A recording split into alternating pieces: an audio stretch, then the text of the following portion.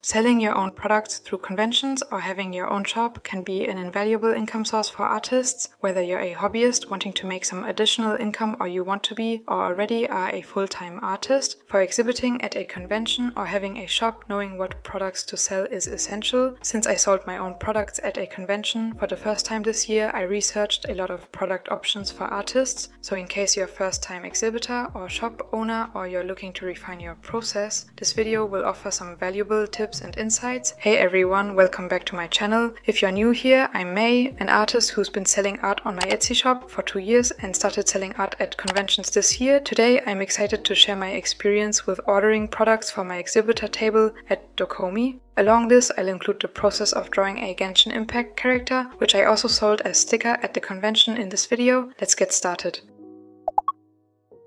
Ordering products for the convention was exciting and challenging at the same time. Seeing your art transformed into tangible items that people could buy and enjoy is a nice experience. But behind the scenes, there were many decisions to make and lessons to learn. The thing is, before exhibiting at Dokomi, I would solely rely on the print on demand service Printful for selling my art at my Etsy store. Like this, I didn't have to put in time for shipping products myself, and it was better shipping wise in general as Printful has manufacturing stations worldwide. Of course, I didn't make as much profit from this since Printful would get most of the money from the order cost unless I would heavily overprice my products. But for the print on demand option, I also really like the aspect that products only are created when an order is placed, whereas when you have the products yourself, you have inventory from which you take things for the orders, which does not ensure that you either have enough products or you may have too many. For Dokomi, I wanted to go for environmentally friendly options using biodegradable stickers and recycled paper for my prints. At first, first, I also thought about acrylic keychains but decided against it. Prints tend to bring in the most profit, stickers are okay, but keychains generally bring in the least. Plus, for stickers and prints, there are many options for companies, even local ones, whereas for keychains, there are fewer companies producing them.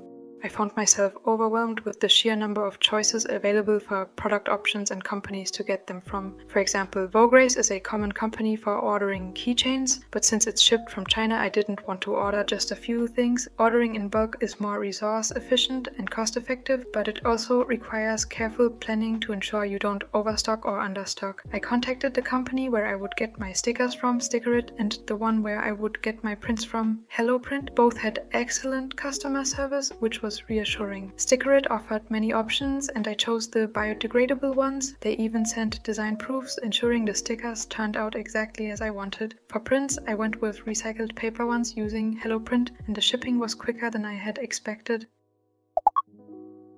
Now let's talk about some of the challenges I faced and how you can avoid them. First, the environmental impact. I wanted to minimize this, so I chose biodegradable stickers and recycled paper for my prints. While this is a great approach, it can sometimes limit your options and increase costs. For me, this wasn't the case, which was reassuring. Next, the cost. Ordering products can get expensive, especially when considering the quality and environmental factors. It's essential to budget carefully and prioritize items that are most likely to sell well. In addition to this, figuring out the amount of products you would like to order is challenging as well. It's difficult to predict how many sales you'll make, how many people are interested in your products, especially if this is your first time exhibiting at a specific event or selling something yourself through an online shop. Another issue was timing. I had to ensure that my products would arrive on time, which meant planning and ordering well in advance. Last minute deliveries not arriving before the event can lead to a lot of stress.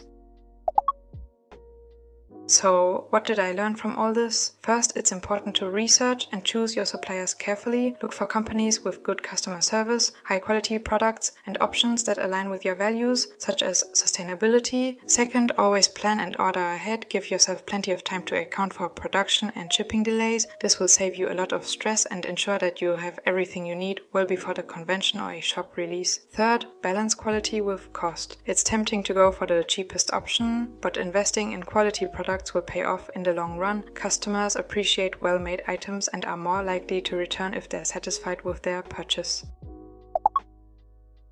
Here are some actionable steps to help you successfully order products for your Artist Alley table. Research suppliers, take the time to find reliable suppliers who offer high quality products, read reviews, ask for samples, and compare prices. For example, Stickerit and HelloPrint provided me with excellent service and quality. Plan your products, decide what items you want to sell based on what has sold well in the past and what you think will appeal to your audience. Prints, stickers, and keychains are popular options, but focus on what fits your art style and brand.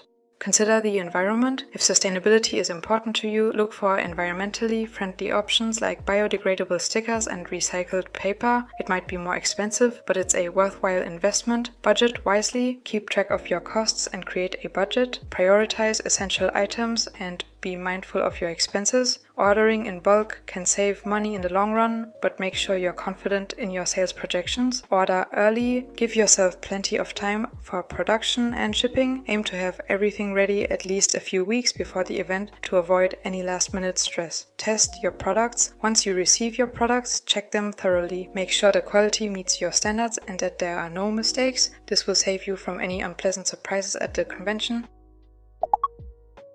Ordering products for a convention or your shop can be a complex process, but with careful planning and research, you can ensure a successful and stress-free experience. I hope you found these tips helpful. If you did, please give this video a thumbs up and don't forget to subscribe for more videos about art. I'd love to hear about your experiences and any tips you might have, so leave a comment below. I look forward to seeing you in the next video where we'll dive into my transportation problems and how I managed to get everything to the convention.